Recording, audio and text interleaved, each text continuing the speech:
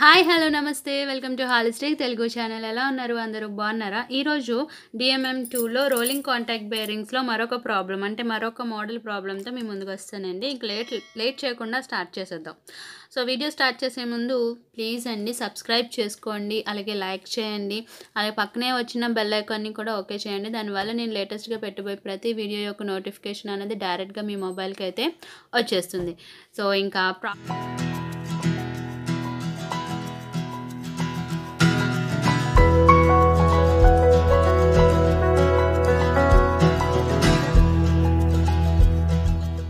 problem ఏంటంటే select a single row deep groove ball bearing ఓకేనండి select a single row deep groove ball bearing for radial load four thousand newtons and axial load five thousand newtons operating at speed sixteen hundred RPM for a average life of five years at ten hours per day assume uniform and steady load so ఇక్కడ మనకి ఏంటంటే ఒక single row deep groove ball బేరింగ్ని select చేసుకోమంటున్నాడు దేని దేన్ని base చేసుకొని select చేసుకోమంటున్నాడు radial load అనేది ఫోర్ థౌజండ్ ఇచ్చారు యాక్సియల్ లోడ్ అనేది ఫైవ్ థౌజండ్ ఇచ్చాడు సో స్పీడ్ అనేది సిక్స్టీన్ హండ్రెడ్ సో ఇలా మనకి గివెన్ డేటా అనేది ఇచ్చాడు సో ఇలాగా మనకి average life of five years at ten hours per day అనేది ఇచ్చాడు అనమాట so assume uniform and steady load ఏమిచ్చాడండి uniform and steady load so first మనం ఏం చేద్దాం రేడియల్ లోడ్ అన్నది అంటే గివెన్ డేటా అనేది మనం రాసుకోవాలి ఫస్ట్ సో గివెన్ డేటా అంటే F R so F R అంటే radial load load for radial so four thousand newtons అలాగే యాక్సియల్ లోడ్ అనేది F A five thousand newtons so speed అనేది ఎంత ఇచ్చాడండి సిక్స్టీన్ హండ్రెడ్ ఆర్పిఎం అనేది ఇచ్చాడు so life five years ten five years per ten hours per day ఓకేనండి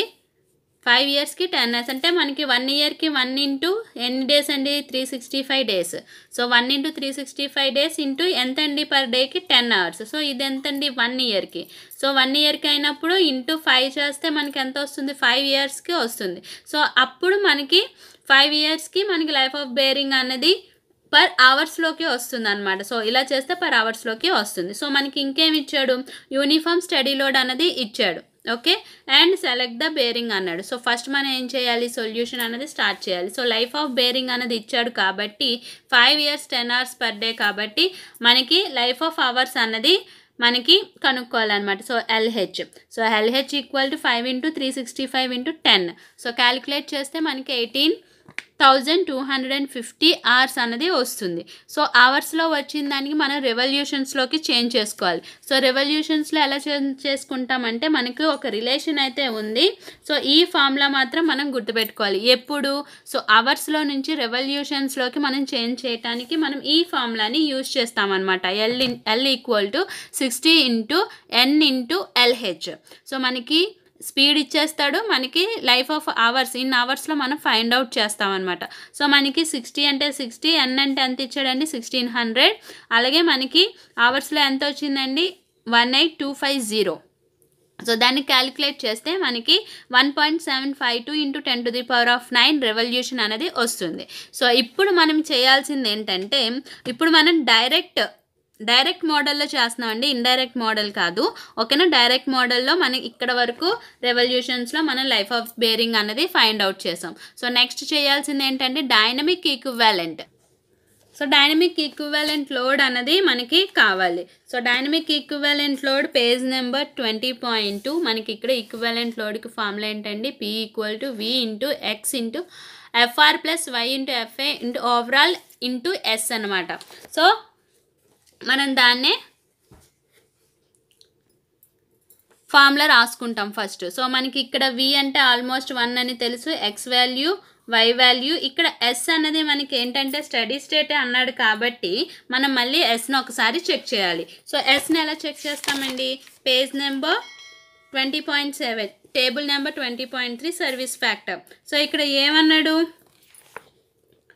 just uniform and steady load అన్నాడు so uniform అంటే constant and steady లోడే కదా so uniform and constant or steady load అన్న uniform or steady load అన్న మనకి ఇక్కడ S value ఎంత అవుతుందండి వన్ అవుతుంది సో ఎస్ వాల్యూ కూడా మనకి ఏమవుతుంది వన్ సో ఎస్ వాల్యూ కూడా మనకి వన్ అవుతుంది సో ఇప్పుడు మనం ఫైండ్ అవుట్ చేయాల్సింది ఏంటి F X Y E F A F R E F E అనేది మనకి ఇచ్చేసాడు సో మనకి ఈ ఈక్వేషన్ ఎక్కడి నుంచి వస్తుంది నెక్స్ట్ పేజ్ అండి సర్వీస్ ఫ్యాక్టర్ తర్వాత నెక్స్ట్ పేజ్ సో మనకి ఇక్కడ type of bearing so equivalent bearing load మనం ఈ ఈక్వేషన్ని చూసుకుంటాం సో ఇదొక కండిషన్ని సాటిస్ఫై అయిందో లేదో చూసుకోవాలి ఈ కండిషన్ని మనం చూసుకుంటూ మన ఎక్స్వై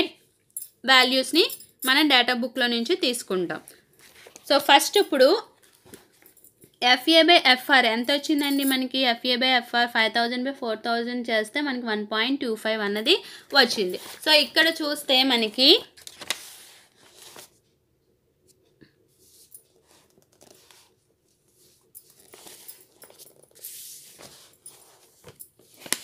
ఓకే ఇప్పుడు పింక్ కనిపిస్తుంది సో మనకి ఇక్కడ వన్ పాయింట్ టూ ఫైవ్ అన్నది వచ్చింది సో ఇక్కడ మ్యాక్సిమం వాల్యూ అంతా zero point four four so zero point four four అంటే మనకు వచ్చిన వాల్యూ ఎక్కువ ఉంది కాబట్టి మనం ఏం చేసుకుంటాం గ్రేటర్ దెన్ ఈ అన్నది తీసుకుంటాం so greater than e so మనకి ఇప్పుడు ఎఫ్ఏ బై సిఓ అన్నది కావాలి సో ఎఫ్ఏ బై సిఓ అన్నది ఇవ్వలేనప్పుడు మనకి సిఓ అన్నది ఇవ్వలేదు సో ఇవ్వలేనప్పుడు ఎలా అజ్యూమ్ చేసుకోమన్నాను సో జీరో పాయింట్ ఫైవ్గా ఎజ్యూమ్ చేసుకోవాలి అంటే F A by C O అన్నది జీరో పాయింట్ ఫైవ్గా ఎజ్యూమ్ చేసుకుంటాం సో మనం గ్రేటర్ దాన్ ఈలో జీరో పాయింట్ ఫైవ్ దగ్గర మనకి వాల్యూస్ ఎలాగొచ్చాయండి G X value zero point five six Y value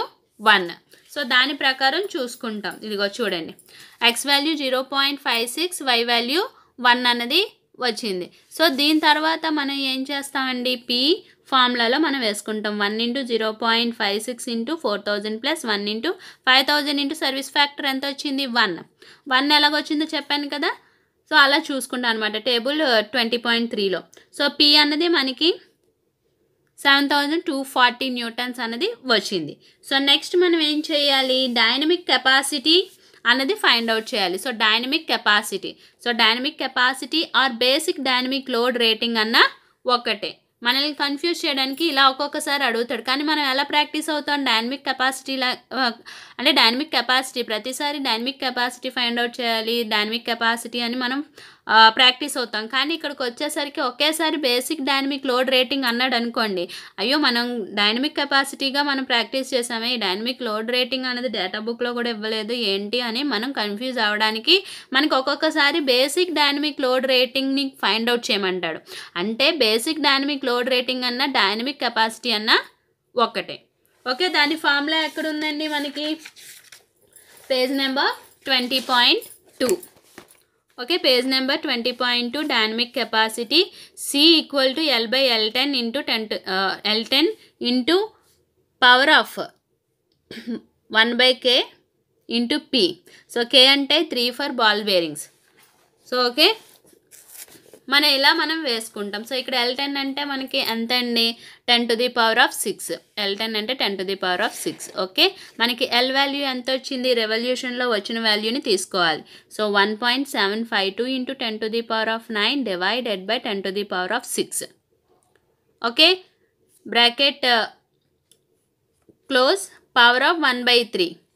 into P ఎంత వచ్చిందండి seven two four zero so calculate చేస్తే మనకి సి అన్నది eight seven two eight zero point three newtons అన్నది వచ్చింది సో ఇప్పుడు ఏం చేయాలి మనం already life of bearing find out చేస్తాము dynamic equivalent load find out చేస్తాము డైనమిక్ కెపాసిటీ కూడా మనం ఫైండ్ అవుట్ చేస్తాం సో ఇప్పుడు ఏం చేయాలి బేరింగ్ని మనం సెలెక్ట్ చేసుకోవాలి ఓకేనా సో ఇప్పుడు మనం బేరింగ్ని ఎలా సెలెక్ట్ చేసుకుంటాం మనకి ఇక్కడ ఏదైనా స్టార్టింగ్ మనం ఏ సిరీస్ తీసుకుంటాం సిక్స్టీ టూ సిరీసే తీసుకుంటాం so page number page number twenty point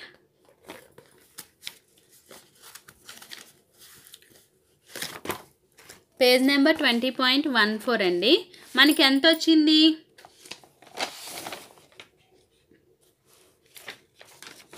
so మనకి ఇక్కడ ఎంత వచ్చింది సి అనేది ఎయిటీ సెవెన్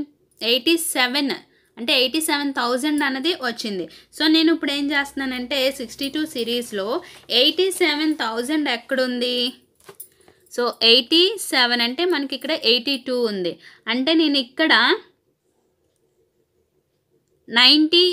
సెవెన్ థౌజండ్ దగ్గర తీసుకుంటున్నాను అనమాట నేను ఎందుకంటే ఎయిటీ సెవెనే కాబట్టి నేను నైంటీ సెవెన్ని తీసుకుంటున్నాను సో నైంటీ సెవెన్ దగ్గర మనకి ఎంత వచ్చింది ఇది ISI number one double zero BC zero two అలాగే six two two zero okay దాని దగ్గర మనకి స్టాటిక్ కెపాసిటీ డైనమిక్ కెపాసిటీ మనం నోట్ చేసుకుంటాం ఓకే నోట్ చేసుకున్నాక మనకి ఇక్కడ చూడండి మళ్ళీ మనం F A by F R అనేది చేంజ్ అవ్వదు so X equal to zero point five సిక్స్గానే ఉంటుంది so F A by C O అనేది చేంజ్ అవుతుంది సో ఇక్కడ zero point zero six two అనేది వస్తుందన్నమాట so zero point zero six two అంటే మనకి మళ్ళీ మనం ఈ టేబుల్ దగ్గరికి రావాలి సో ఇక్కడికి వచ్చేసరికి మనకి మళ్ళీ ఇక్కడ ఎంత ఉందండి మనకి F A by C O అన్నది zero point zero zero point zero six అన్నది వచ్చింది so zero point zero seven ఎక్కడ ఉంది సో సిక్స్ అన్నది ఫైవ్ సిక్స్ అన్నది లేదు కాబట్టి మనం ఏం చేస్తామంటే సెవెన్కి దగ్గరలోనే ఉంది కదా సో ఓన్లీ వన్ డిఫరెన్స్ కాబట్టి నేను వైని వన్ పాయింట్ సిక్స్గా తీసుకుంటున్నాను ఓకేనా one point six so Y equal to one point six so అలా మనం పి అన్నది క్యాలిక్యులేట్ చేస్తే ten thousand two hundred and forty newtons అన్నది వచ్చింది మళ్ళీ మనం ఏం చేస్తాం డైనమిక్ కెపాసిటీ అన్నది ఫైండ్ అవుట్ చేయాలి సో డైనమిక్ కెపాసిటీ అన్నది ఫైండ్ అవుట్ చేస్తే మనకి one lakh twenty three thousand four hundred and forty six point two న్యూటన్స్లా వస్తుందన్నమాట కానీ మనకి ఇక్కడ ఎంత రావాలి ninety seven so ninety seven థౌజండ్స్లో రావాలి మనకి ఇక్కడ ఎంత వచ్చింది వన్ ల్యాక్ ట్వంటీ త్రీ థౌజండ్లో వచ్చింది సో కాబట్టి మనం దీన్ని తీసుకోము అంటే ఈ సిక్స్టీ టూ సిరీస్లో మనం అసలు తీసుకోం అన్నమాట సో ఇక్కడ మనకి ముందు దాంట్లో మనకి ఎంత వచ్చింది ఎయిటీ సెవెన్ వచ్చినప్పుడు దానికన్నా నెక్స్ట్ నెంబర్ని మనం తీసుకున్నాం ఎయిటీ సెవెన్ న్యూటన్స్ అంటే ఎయిటీ సెవెన్ న్యూటన్స్ వచ్చినప్పుడు అంటే ఎయిటీ సెవెన్ థౌజండ్ న్యూటన్స్ వచ్చినప్పుడు మనకి ఇక్కడ నైంటీ సెవెన్ న్యూటన్స్ తీసుకున్నా కూడా మనకి ఇక్కడ మ్యాచ్ అవ్వలే అంటే మనకి వన్ ల్యాక్లో వచ్చింది కాబట్టి మళ్ళీ మనం ఏం చేయాలి బేరింగ్ని సెలెక్ట్ చేసుకోవాలి ఇప్పుడు ఎక్కడ సెలెక్ట్ చేసుకుంటాం సిక్స్టీ టూలో తీసుకున్నది మ్యాచ్ అవ్వలేదు కాబట్టి సిక్స్టీ త్రీలో తీసుకోవాలి ఎక్కడండి సిరీస్ సిక్స్టీ త్రీలో మనం తీసుకోవాలి so in series sixty three so sixty three అన్నది చూద్దాం ఇదిగోండి సిక్స్టీ త్రీ సో ఇవన్నీ కూడా మనకి థౌజండ్స్లో ఉన్నాయి మనకి ఇక్కడ ఎంత వచ్చింది one lakh so one lakh పాతది ఎంత వచ్చింది one lakh twenty three thousand అన్నది వచ్చింది so one lakh twenty three thousand so ఇక్కడ వన్ ల్యాక్ ట్వంటీ త్రీ లేదు సో వన్ ల్యాక్ సెవెంటీన్ ఉంది వన్ ల్యాక్ థర్టీ ఫైవ్ ఉంది సో వన్ ల్యాక్ థర్టీ ఫైవ్ని నేను తీసుకుంటున్నాను ఎందుకంటే మనకి వన్ ల్యాక్ థర్టీ ఫైవ్ అంటే ఓకే వన్ ల్యాక్ ట్వంటీ ఫైవ్కి థర్టీ ఫైవ్కి నేను ఈ ఇది ఎక్కడొచ్చింది దీని S SA number one double zero BC zero three అలాగే ఎస్కేఎఫ్ నెంబర్ ఏమో six three two zero so దాని దగ్గర సిఓ వాల్యూ సి వాల్యూ అంటే static capacity value dynamic capacity value నేను తీసుకుంటున్నాను ఓకేనా సో తీసుకున్నాక మళ్ళీ మనం ఏం చేయాలి ఇక్కడ నోట్ చేసుకుంటాం okay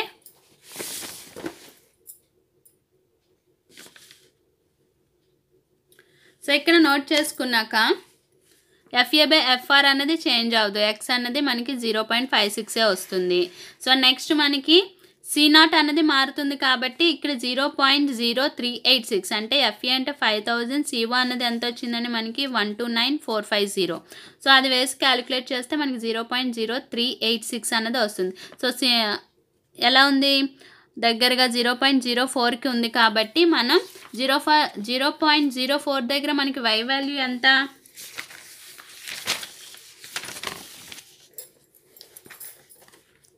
so zero point zero four దగ్గర Y value one point eight so one point ఎయిట్ని నేను తీసుకున్నాను okay Y Y equal to one point eight so మళ్ళీ పీలో మనం వేసుకుంటాం one into zero point six into four thousand plus five thousand in one point eight into service factor one so మనకి eleven thousand twenty two hundred and forty newtons అనేది వచ్చింది so మళ్ళీ మనం ఏం చేస్తాం డైనమిక్ కెపాసిటీ అనేది find out చేస్తాం so మనకి ఎల్ ఇన్ రెవల్యూషన్ ఎంత వచ్చింది one point seven five two into ten to the power of nine divided by ten to the power of six power of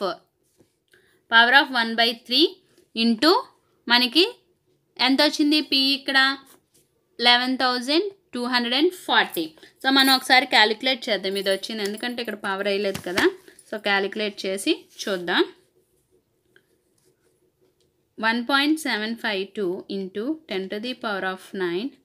divided by ten to the power of six power of one divided by three into eleven two four zero so okay కరెక్ట్గానే చేశాను calculation okay మనకి one lakh thirty five thousand sorry one lakh thirty five thousand five hundred and one point five newtons అన్నది వచ్చింది so మనకి ఇక్కడ ఎంత వచ్చింది three hundred and thirty one lakh thirty five thousand three hundred and thirty so మనకి ఎప్పుడైతే మనకి కావాల్సిన వాల్యూ కన్నా నెక్స్ట్ వాల్యూని ఎప్పుడు కన్సిడర్ చేయకూడదు ఓకే మనకి ఇది కూడా మ్యాచ్ అవ్వలేదు సిక్స్టీ త్రీ సిరీస్లో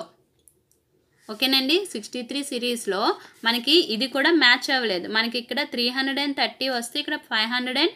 వన్ వచ్చింది so five hundred and one వచ్చింది సో ఇదే మనకి గ్రేటర్ అవుతుంది కాబట్టి మనకి ఈ సిక్స్టీ త్రీ సిరీస్లో ఈ సిరీస్ ఏదైతే మనం తీసుకున్నామో ఇది కూడా మనకి సూటబుల్ కాదు ఓకే ఇప్పుడు అంటే నేను ఇది ఎందుకు చేశానంటే నెక్స్ట్ నెంబర్ సరిపోద్ది కదా అని మనం తీసుకుంటే గనక మనకి అది సేఫ్ కాదు సో దాని నెక్స్ట్ నెంబర్ని మనం తీసుకోవాలి ఇప్పుడు మనం ఎక్కడ చూసాం సిక్స్టీ త్రీ సిరీస్లో మనకి ఎంత తీసుకున్నాం one lakh thirty five thousand three hundred and thirty దగ్గర తీసుకున్నాం కదా నేను ఇప్పుడు సేమ్ అదే సిరీస్లో మనం one lakh fifty two thousand దగ్గర నేను తీసుకుంటున్నాను one lakh fifty two thousand nine hundred and eighty దగ్గర నేను తీసుకుంటున్నాను ఓకే దాని నెంబర్ రాస్తారు దాని ఎస్కేఎఫ్ డిజైన్ నెంబర్ రాస్తారు దాని దగ్గర మనం సిఓ సి సి వాల్యూస్ తీసుకుంటాం మళ్ళీ ఎఫ్ఏ బై ఎఫ్ఆర్ని క్యాలిక్యులేట్ చేస్తాం ఎఫ్ఏ బై సిఓ సిఓని క్యాలిక్యులేట్ చేస్తే మనకి జీరో పాయింట్ త్రీ వన్ వస్తుంది అక్కడ వై ఈక్వల్ టు టూ అనమాట డేటా బుక్లో దాని నుంచి క్యాలిక్యులేట్ చేస్తాము పి పి అనేది క్యాలిక్యులేట్ చేస్తే మనకి twelve hundred two hundred and forty newtons అనేది వచ్చింది సి వాల్యూ క్యాలిక్యులేట్ చేస్తే మనకి one lakh forty seven thousand so ఇక్కడ వన్ ల్యాక్ ఫార్టీ సెవెన్ వచ్చింది మనకి ఇక్కడ one lakh fifty two thousand nine hundred and eighty so ఈ వాల్యూయే మనకి పెద్దది కాబట్టి మనం దీన్ని సెలెక్ట్ చేసుకున్నట్టు రాస్తామన్నమాట సో ఇలా మనం డిజైన్ని సెలెక్ట్ చేసుకుంటాం సో రిజల్ట్ వచ్చేసరికి the bearing ISI number double one zero BC zero three and bearing of the basic design number six three double two have a dynamic capacity ఎంత వచ్చిందండి one lakh fifty two thousand nine eighty newtons this bearing is selected for or selected అని చెప్పేసి మనం mention చేయాల్సి ఉంటుందన్నమాట so friends ఇది ఈ video ఈ వీడియో కనుక నచ్చినట్టయితే లైక్ చేయండి షేర్ చేయండి అలాగే మన ఛానల్ని ఫస్ట్ టైం కనుక చూస్తున్నట్టయితే సబ్స్క్రైబ్ చేసుకోండి సో ఇక్కడ మాత్రం నేను ఇలా ఎందుకు చెప్పానంటే మీకోసం చెప్పానండి మనకు వచ్చిన వాల్యూ కన్నా ఇంకా టూ ఎక్స్ట్రా వాల్యూస్ తీసుకోవటం మంచిది ఎందుకంటే మనకి సిక్స్టీ టూ సిరీస్లో మ్యాక్సిమం మనం తీసుకున్నదే సిక్స్టీ టూ సిరీస్లో మనకి ఇచ్చిన డేటా ప్రకారం తీసుకుంటాం కాబట్టి సిక్స్టీ టూ సిరీస్ కాకుండా సిక్స్టీ త్రీ సిరీస్లో మనకు వచ్చిన వాల్యూ కన్నా ఒక టూ ఎక్స్ట్రా టూ వాల్యూస్ అనేవి మనం తీసుకుంటే సరిపోతుందన్నమాట ఓకేనా friends thank you for watching